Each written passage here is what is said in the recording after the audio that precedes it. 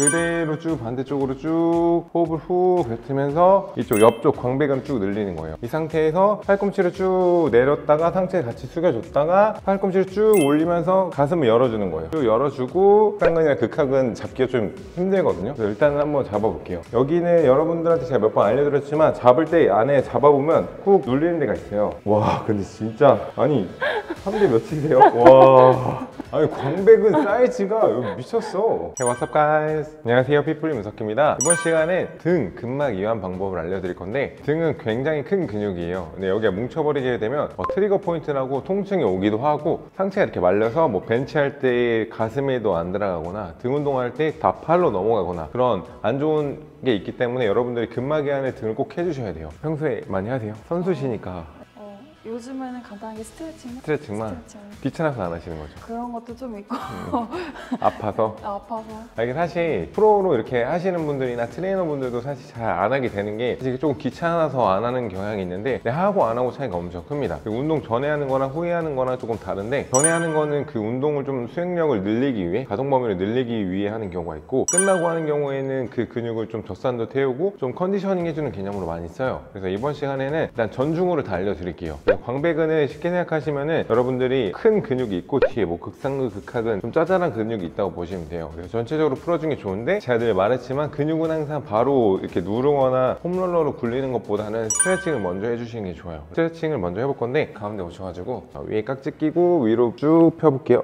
팔 위로 깍지를 끼고 힘을 쭉 뺀 상태에서 호흡을 후 하면서 견갑을 위로 뽑는 거. 그래서 여러분들이 좀 스트레칭도 개념을 어떻게 아셔야 되냐면 이 견갑골이라고 날개뼈의 움직임이 위로 올라가기도 하고 앞뒤로 움직이기도 해요. 그래서 이거 두 개를 스트레칭 같이 해주시는 게 좋아요. 그래서 처음에는 잡은 상태에서 견갑을 최대한 위로 이렇게 뽑아주는 거. 이것도 스트레칭이 되게 많이 되거든요. 아니면 어딘가에 그 lat pull down이나 pull up 할 때 턱걸이 할 때처럼 매달려 있어도 여기가 되게 많이 늘어나요. 그래서 하실 때 이거를 먼저 풀어주고 이번에는 쭉 뽑은 상태에서 그대로 쭉 반대쪽으로 쭉 호흡을 후 뱉으면서 이쪽 옆쪽 광배근 쭉 늘리는 거예요. 후 여기 가운데로 왔다가 와 근육량이 엄청 많으시네. 뽑았다가 반대로 쭉쭉쭉 왔다가 한 번 더 할게요. 항상 하실 때 뽑은 상태에서 쭉 늘려줘야 여기 광배근이 늘어나는 걸 대화할 수가 있어요 쭉 포인트는 이게 사선으로 앞으로 가면 안 되고 최대한 몸이랑 일자가 된 상태에서 쭉 내려가야 돼요. 그리고 이번에는 그 상태에서 앞으로 쭉 와서 앞으로 깍지 끼고 이번에는 견갑을 앞으로 뽑을게요. 그렇죠. 쭉 아까랑 다르게 위아래로 뽑는 게 아니라 앞뒤로 뽑는 거예요. 그래서 앞으로 쭉 그렇죠. 아, 근육이 많으니까 잘 보인다.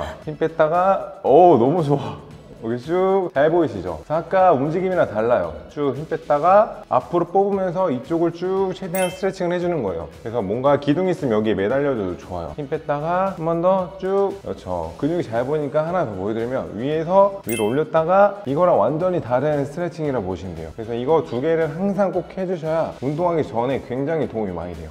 한번 누워볼게요. 지금 등 근육이 너무 좋으니까 근막이완 하기 전에 회전근개 상태가 어떤지 한번 볼게요. 그래서 팔을 뒤로 쭉 빼보세요. 고개는 오른쪽으로 주시고 그러면은 회전근개는 와 근육량 장난 아닌데?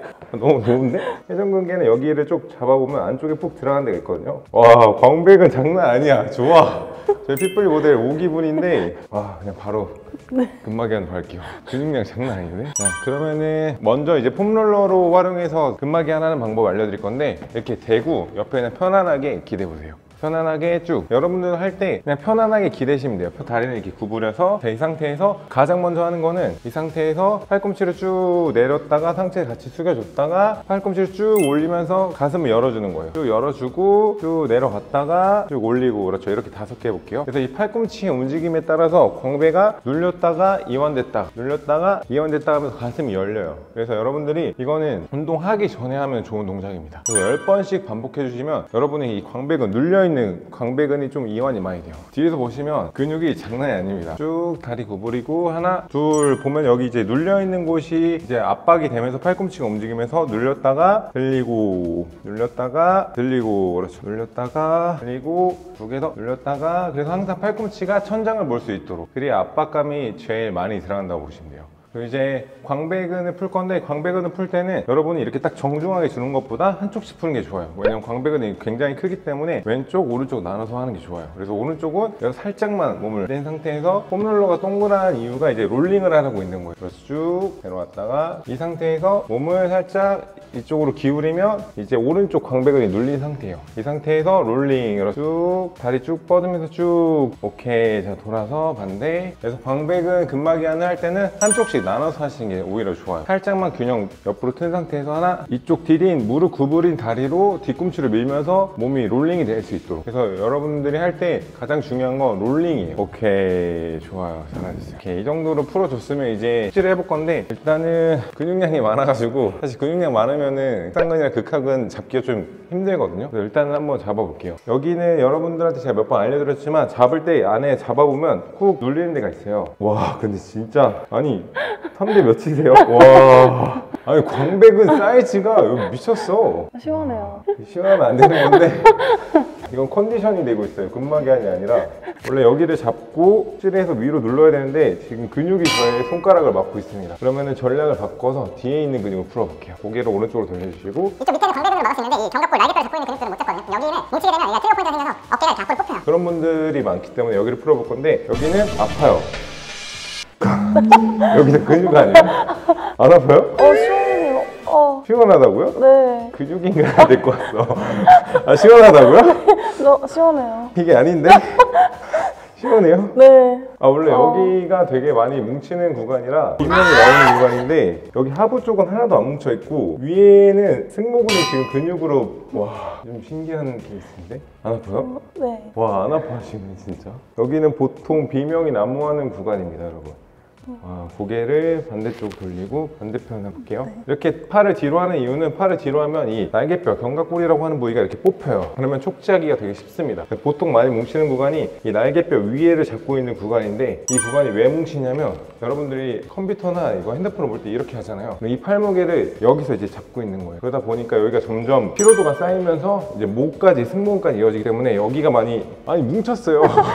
뭉쳤는데 내가 봤을 때 이분 고, 고통을 모르는 것 같아. 와 이게 안 아프다. 와. 시원, 시원해. 시원해요? 네. 와. 아니 여러분 제가 이거는 명확히 말씀드릴 수 있는 게 뭉쳤는데 지금 이분 고통을 잃으신 분이에요. 와. 그래서 보통 분들이면 여기가 많이 뭉쳐요. 근데 여기 뭉친 거를 안 풀어주시면은 어깨가 점점 앞으로 말리고 목이 아파요. 삐끈 쪽이 아파. 뒤에 호두하근이라 그래서 여기를 항상 무리 않게 풀어주시는 게 좋아서 여기 푸는 법을 좀 알려드릴 건데 너무 안 아파하시니까 제가 봤을 땐 컨디셔닝으로 바꿔가지고 가볼게요. 자 이번에는 아까 말한 대로 옆으로 한 번만 돌아볼게요. 그래서 아까 제가 짚어드린 데가 어디냐면 힘을 쭉 빼볼게요. 이러고 있는 분들 많잖아요. 고개 이렇게 내밀고 그러면 이쪽이 많이 뭉치게 돼요. 여기가 피로도가 쌓이게 되면서 점점 앞으로 나오면서 여기가 들려요. 그러면 여기 승모근이 아프면서 이제 머리까지 아프신 분들이거든요. 그런 분들도 등 운동하기 전에 같이 스트레칭 해주면 좋은데 앞으로 돌아서 이번에 뒤에 깍지 끼고 팔을 뒤로 쭉 하면서 날개뼈를 쭉 접어주는 거예요. 이렇게 해주면서 아까 뒤에 뭉쳐있는 근육이 이렇게 말려있는 거를 풀어주는 건데 이것도 10번 이렇게 돌아서 한 번 해볼게요 보면은 아까 견갑이 이렇게 제가 앞으로 뽑혀 있다고 했는데 이걸 뒤로 접으면은 날개뼈 이렇게 접히면서 여기가 이제 많이 가슴이 열리고 등이 열리는 거예요.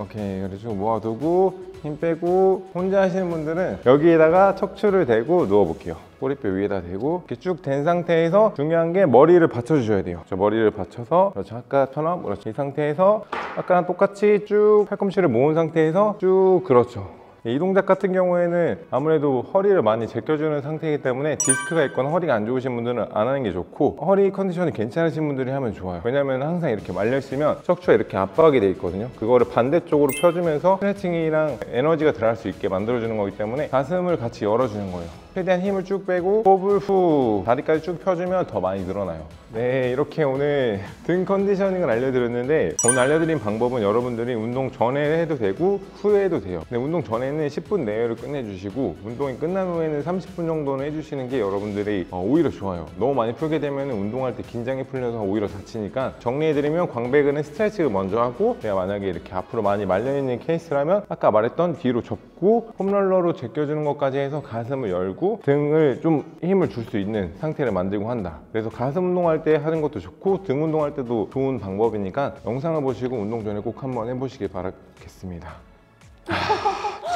아 너무 아쉬운데 제가 모델님은 다음에 종아리로 한 번 더 불러가지고 근막이완을 해드릴 테니까 그때 한번 고통스러운 모습을 보도록 하겠습니다. 되게 개운해 보이세요. 킹받는데 아, 이번 시간에 저희가 준비한 영상은 여기까지고요. 영상을 보시고 도움이 되신 분들은 좋아요와 구독. 부탁드리겠습니다. Thank you guys.